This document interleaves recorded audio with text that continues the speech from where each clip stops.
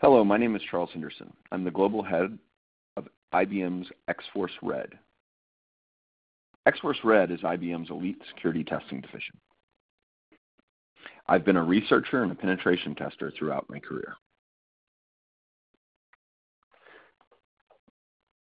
One of the things that's always interested me in security is the the little guy, the the security vulnerability that no one's paying attention to because it's it's decidedly outside the the, sexy realm of interest. And I, I think that one of the things that really attracted me to my research this year in IoT end of days was that no one was really paying attention to what happened to these IoT devices once they passed through their initial owner.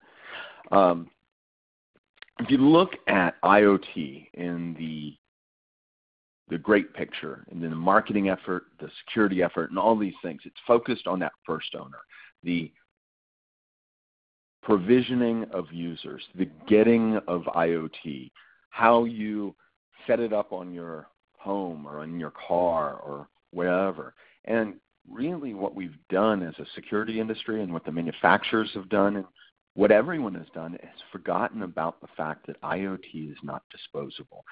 It's resold, it's transferred.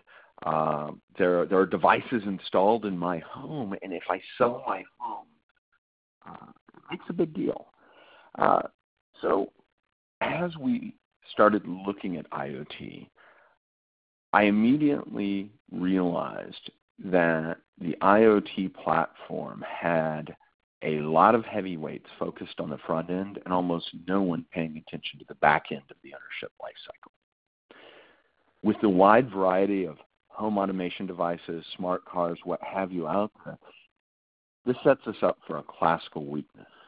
And I believe that it's time we start looking at the entire life cycle rather than the beginning or um, even the middle of the life cycle.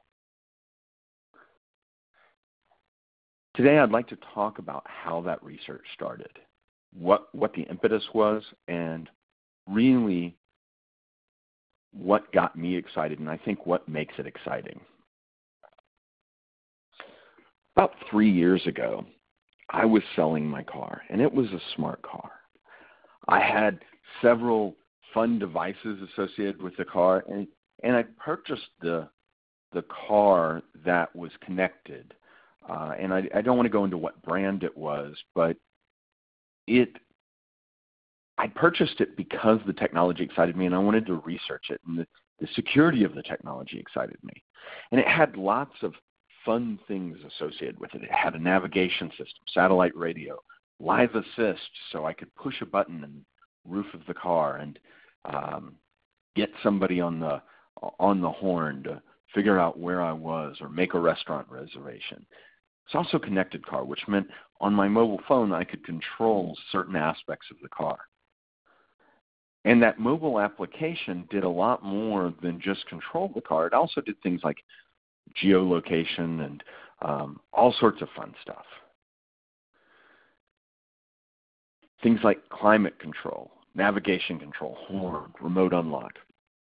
And I started thinking about this, and like most security researchers, I became focused on the front end of that application's feature set. How, how did they provision that application to me? Did they use a default password when they gave it to me? Um, what was what was it in the communication that identified me as the application owner? Was session management saying All of these things, and these are great security questions that we should be asking about smart vehicles and uh, connected cars and all of this.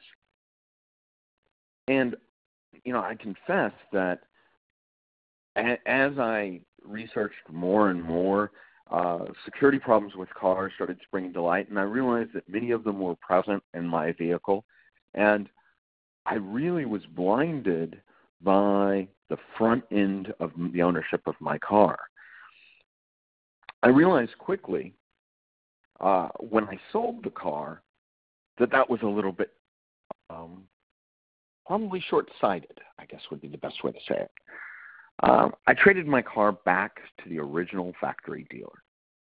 I deauthorized all my accounts, you know, made sure that the car was devoid of user information. I did a full factory reset on uh, the uh, entertainment unit because that uh, things like uh, my phone numbers, uh, my uh, personal information was no longer in the car. And I focused on a lot of things that protected me as the first owner of the car. The dealer made sure that they had all the keys, and they, they even checked to see if additional keys were issued so that they could account for all keys uh, at the time of resale. And I, I, I think that, that was important because physical security was something that the dealer understood. It was at that point that the journey really began. What happened post sale of the car inspired my research in 2016 into the life cycle of Internet of Things. And the journey didn't stop at the point of the car. Um, in fact, I started looking at things like home automation and smart hubs and uh, all flavors of IoT. And what I quickly realized was that it wasn't just a car phenomenon. Shortcomings in long term security strategy for IoT abound. And more than anything, my research covers many of those aspects.